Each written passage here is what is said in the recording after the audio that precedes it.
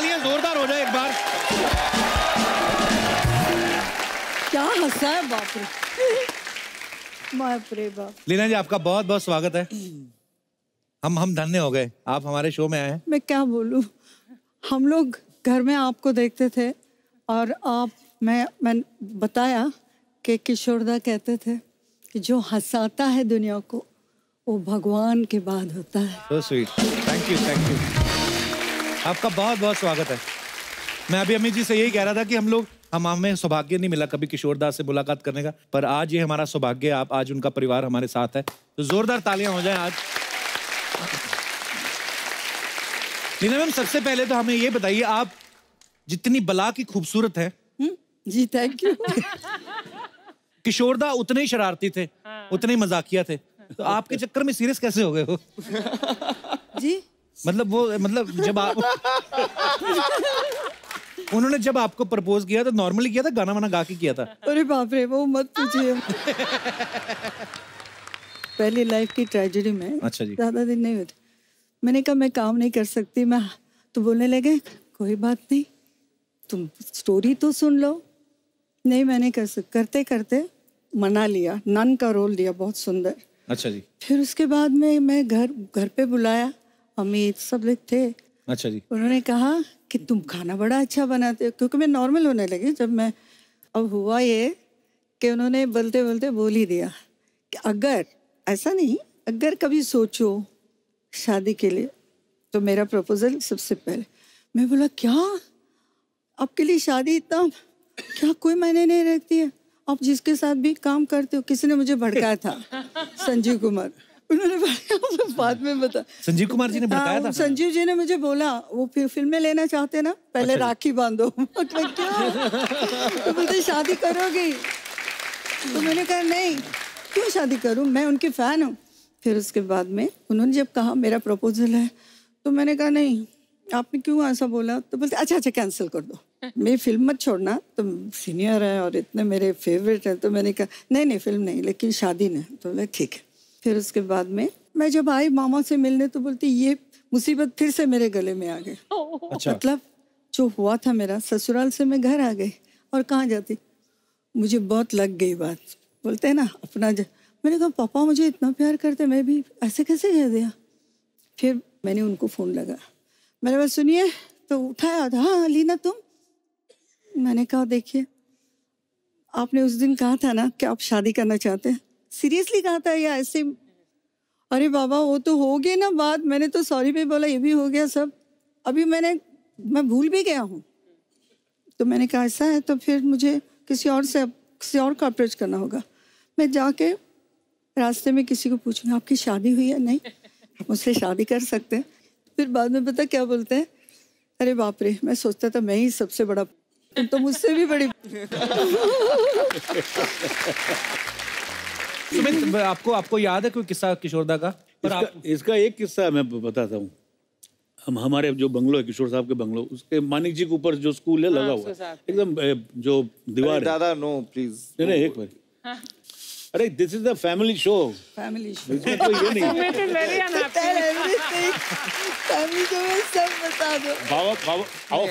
Open book यार। ही ऐसा इंसान पैदा ही नहीं होगा। वन ऑफ़ काइंड ये तो मैं बोलूँगा एब्सोल्युटली तो स्कूल वहाँ पे बच्चे लोग क्रिकेट खेलते थे गार्डन था वहाँ पे। और वो ग्लास हाउस था। तो ऐसा हुआ कि बच्चे लोग खेल रहे हैं तो वो ग्लास हाउस बनाया था तो बॉल आके धाड़ तोड़ दिया कांच। अच्छा। अब पिताजी एकदम वहाँ से जो उनका शुरू हुआ गालियों का जो प्रचार शुरू हुआ वो बोल नहीं सकता मैं तेरी आवा भाबा भाबा भाबा भाबा भाबा भाबा भाबा भाबा भाबा बच्चे लोग और प्रिंसिपल भी खड़े वहाँ पे भाबा भाबा भाबा भाबा भाबा भाबा भाबा अभी मैं पीछे से आगे क्या हुआ क्या हुआ बाबा ऐसा मेरा कांच तोड़ दिया मैं- भी वहाँ से भाबा भाबा भाबा भाबा भाबा मेरा भी शुरू हो गया भाबा भाबा भाबा तेरी भाबा भाबा ये छोटा क्या हुआ क्या हुआ हाँ? मैंने कुछ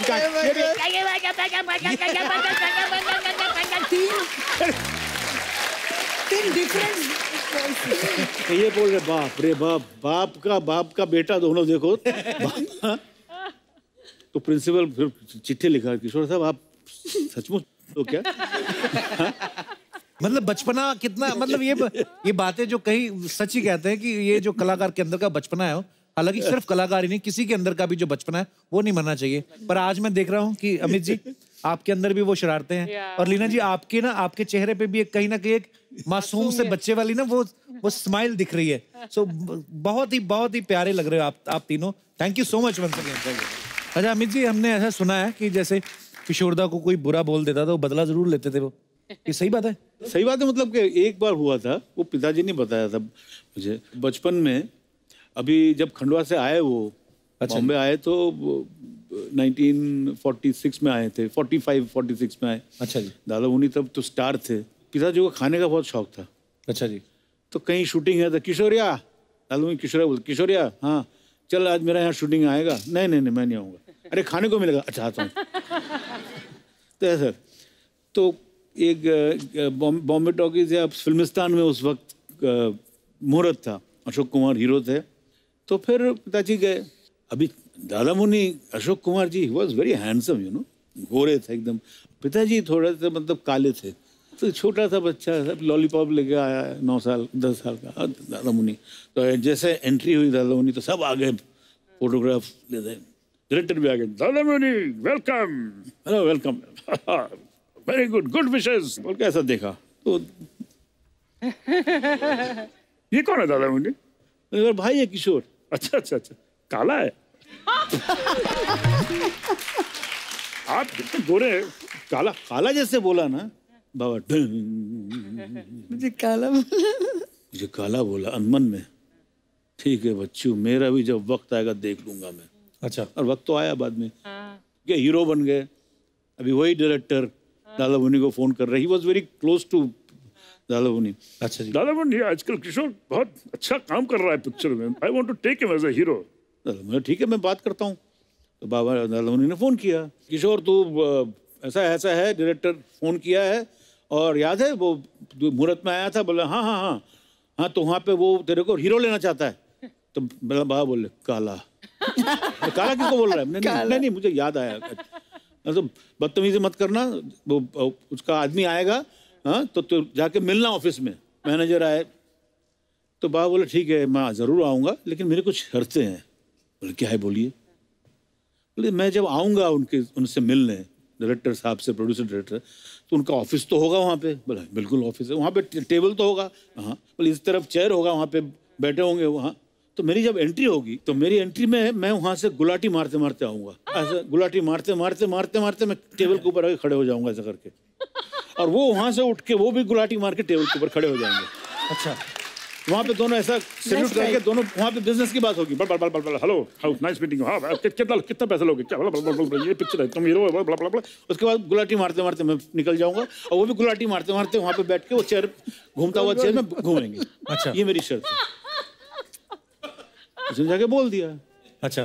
बस। ये बिकम फिरोशस हो गए फ़ोन किया उन्होंने।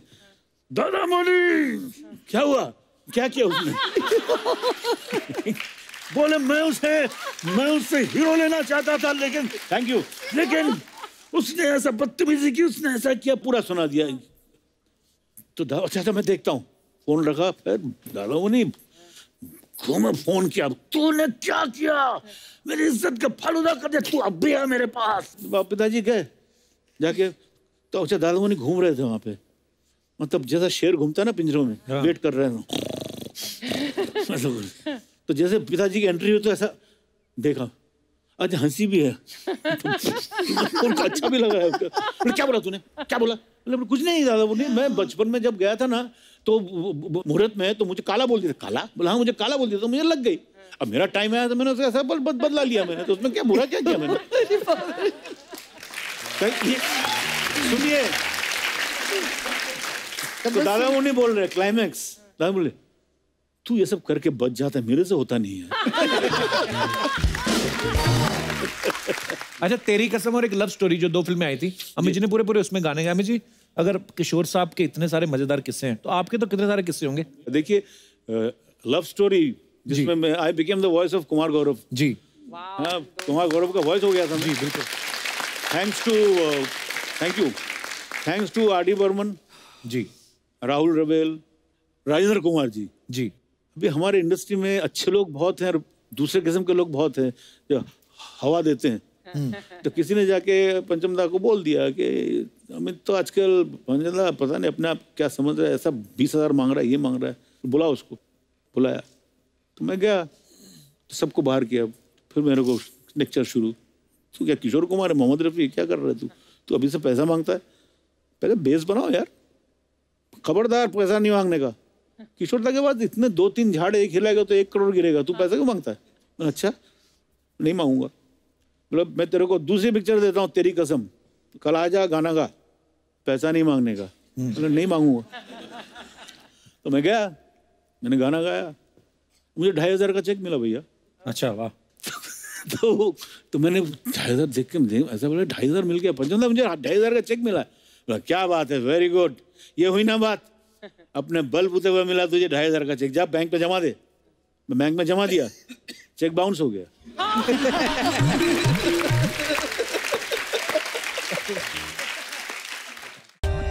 For more update subscribe to our channel click the show links and enjoy watching the videos